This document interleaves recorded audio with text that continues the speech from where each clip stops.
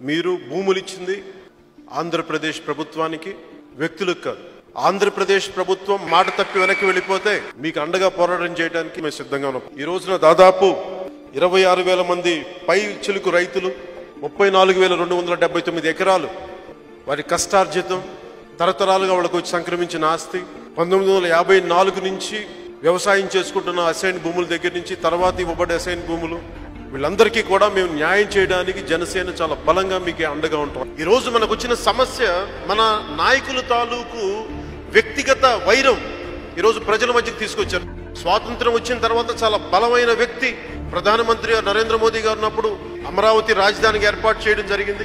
అలాంటి దానికి దాదాపు వాళ్ళు ఇచ్చింది పదిహేను వందల కోట్ల రూపాయలు విడుదల చేశారు దానికి అమరావతికి. రాజధాని ఇక్కడి నుంచి తీసేయమంటానికి పదిహేను వందల కోట్లు ఇవ్వలేదు వాళ్ళు. రాజధాని అమరావతి అని చెప్పి పదిహేను వందల కోట్ల రూపాయలు ఇచ్చారు. అది ఎవరు మర్చిపోరు. అరెకర ఉన్న రైతులు కూడా ఎస్ఐన్ భూములు ఉన్న దళితులు కూడా ఇంతమంది కలిసి దాదాపు ముప్పై నాలుగు వేల పైచిలుకు ఎకరాలు ఇరవై ఆరు వేల ఎనిమిది వందల పద్దెనిమిది మంది రైతులు. ఇది మా రాష్ట్రం కోసం మా దేశం కోసం దేశం గర్వపడేలా ఒక అమరావతి రాజధాని కావాలని చెప్పి ఇక్కడ ఇచ్చింది. గత ప్రభుత్వంలో పాలకులు చేసిన తప్పులకి ప్రజల్ని శిక్షించడం ఇది సరైన పద్ధతిగా. వైసీపీ ప్రభుత్వం ఎలా ఉంటుందంటే విధ్వంసంతో కూడిన వార్తలన్నీ జగన్ రెడ్డి గారికి సంబంధించిన దగ్గర వ్యక్తులు ఎవరెవరు బయట వాళ్ళు ఇస్తారు. ఆయన కుటుంబీకులు ఎవరెవరు ఎవరో ఒక అనిల్ కుమార్ యాదవ్ అని చెప్పి ఆయన మన ఆయన. బొత్స గారికి కూడా నా విన్నపం ఏంటంటే జగన్ రెడ్డి గారి మాయలో మీరు పడకండి. రాజకీయాల్లో చెడు వార్తలకి మీరు మెసెంజర్ అవ్వకండి మీరు. ఉమ్మడి రాష్ట్రానికి ఆఖరి ముఖ్యమంత్రిగా ఉండిపోతే బాగుంటుందని ఆశపడ్డ వ్యక్తి మీకున్న ఎక్కడో మారుమూల కోరిక ఉంది మీకు ముఖ్యమంత్రి అవ్వాలని కోరిక. దాన్ని దృష్టిలో పెట్టుకొని జగన్ జాగ్రత్తగా మాట్లాడండి మీరు కూడా. ఇప్పుడున్న వైసీపీ ఎమ్మెల్యేలు కూడా అందరూ చాలా ఆచితూచి మాట్లాడాలి. అధికారం అనేది మీకు శాశ్వతంగా ఎవరి దగ్గర ఉండదు దయచేసి అర్థం చేసుకోవాలండి.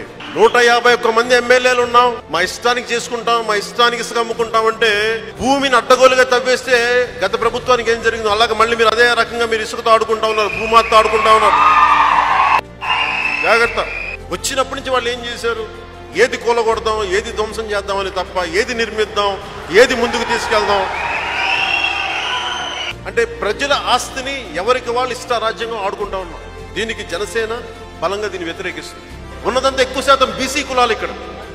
దీనిని ఒక సామాజిక వర్గం ఒక కులం అని చెప్పేసి దీనికి మీరు రాజకీయ రంగులు పులిమి. ఈ చిన్నపిల్లల ఆటలు కాదు ప్రభుత్వాలంటే. చాలా బాధ్యతగా ఉండండి. చిదంబరం గారు లాంటి నాయకులు ఆంధ్రప్రదేశ్ని విడగొడుతున్నామని చెప్పిన పాపానికి ఆయన ఎక్కడున్నారు ఈ రోజున? మీరు చూడు మీరు చూడండి.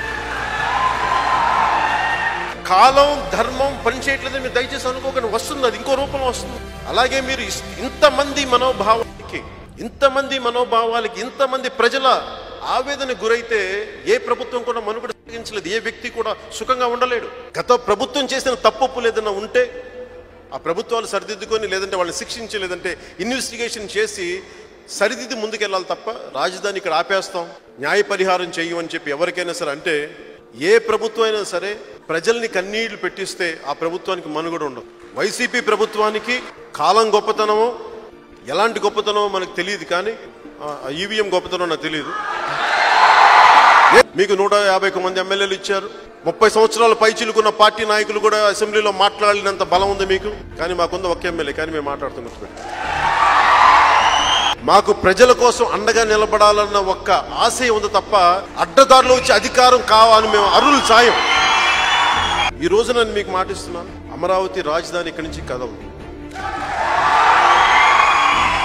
ఇక సరదాగా కూర్చోబెట్టేసి నువ్వు స్కూల్ పిల్లల ఆట ఏంటిదైనా రాజకీయం అంటే? ప్రభుత్వాన్ని నడపడం అంటే స్కూల్ పిల్లల ఆట అనుకుంటున్నారా మీరు?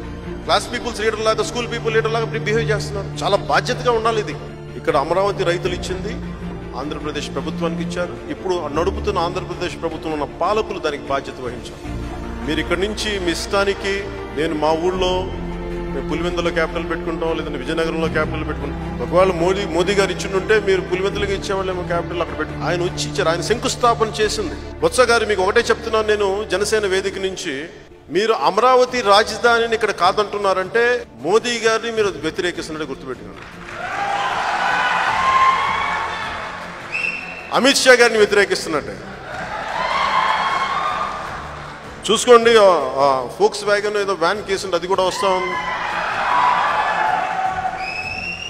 ఇక్కడ మనకి నాకు రిప్రజెంటేషన్ ఇచ్చిన ఎస్ఎన్ భూమి రైతులకి న్యాయం జరగకుండా రైతులందరికీ న్యాయం జరగకుండా ఇలాగే వైసీపీ ప్రభుత్వం ముందుకెళ్తే బొత్స గారు మన మాట వినకుండా ఇలాగే నేను మార్చేస్తాను అంటా ఉంటే అసలు జగన్ రెడ్డి గారు దీని గురించి అసలు పట్టించుకోకుండా నూట యాభై ఒక మంది ఎమ్మెల్యేలు నా ఇష్టాన్ని నేను నడుచుకుంటాను అని ఇదే ధోరణిలో వినని పక్షంలో ఖచ్చితంగా మన రైతులందరి తరపున నేను ప్రధానమంత్రి గారిని అమిత్ షా గారిని వారి దృష్టికి ఖచ్చితంగా తీసుకెళ్తాను. ఇసుక ఇసుకని మాట్లాడుతున్నాం. పోయినసారి తెలుగుదేశం ప్రభుత్వాన్ని దెబ్బ కొట్టింది ఇసుకే. మళ్ళీ వైసీపీ ప్రభుత్వం అదే తప్పులు చేస్తా ఉన్నారు మీరు. మళ్ళీ భవన నిర్మాణ కార్మికులు దేని దానికి సంబంధించి కానీ ఇక్కడ ఆర్థిక అభివృద్ధిని మళ్ళీ ఇసుకతోటే మళ్ళీ కొడతా ఉన్నారు మీరు. నేను మీకు చెప్తా ఉన్నాను వైసీపీ నాయకులందరికీ. మీరు కన్స్ట్రక్షన్ వర్కర్స్ మైగ్రేషన్ ఆపకపోతే మళ్ళీ మీ ప్రభుత్వం పతనం మీరు నూట యాభై ఒక్క మంది ఎమ్మెల్యేలకు వచ్చిన ప్రభుత్వమైనా ఒకప్పుడు అనే మీరు దుస్థితిలో ఉండరు. దయచేసి ఇప్పుడే చెప్తాను మీరు కరెక్ట్ చేసుకోండి మీరు. ఇంతమంది కార్మికుల కష్టాలకి ఇంతమంది రైతుల కన్నీళ్ళకి మీరు కారణం అయితే నూట యాభై ఒక్క మంది ఎమ్మెల్యేలు వచ్చినా మీరు అదా వెళ్ళిపోతారు. దయచేసి ఆ రోజులు ఎక్కడో లేవు.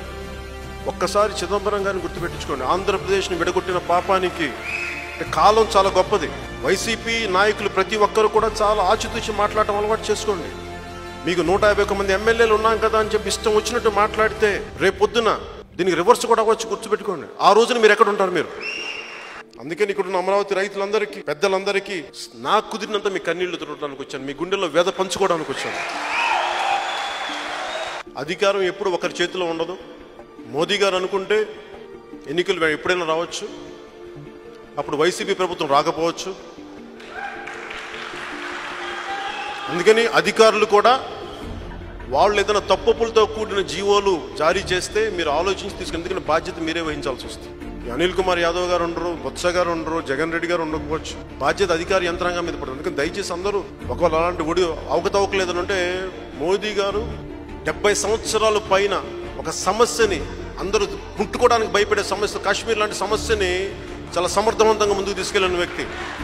నాకు ఆయన వ్యక్తిగతంగా తెలుసు కాబట్టి ఆయన మాట్లాడిన విషయాలు నాకు అర్థమైనాయి కాబట్టి ఆయన ఈ అవినీతి కానీ అధికార దుర్వినియోగాన్ని సహించే వ్యక్తిగా. రెండు వేల పంతొమ్మిదిలో జరిగిపోయినాయి దాన్ని అండగా చూసుకొని వైసీపీ ప్రభుత్వం మేము ఏమి చేసినా చెల్లిపోద్ది అనుకుంటే మీ మీద ఒక కన్ను ఉందని నేను చెప్తున్నాను దయచేసి ఇక్కడ. బొత్స గారు కొంచెం మీరు జాగ్రత్త. అందరికి నా ఏంటండి వీడియో నచ్చిందా?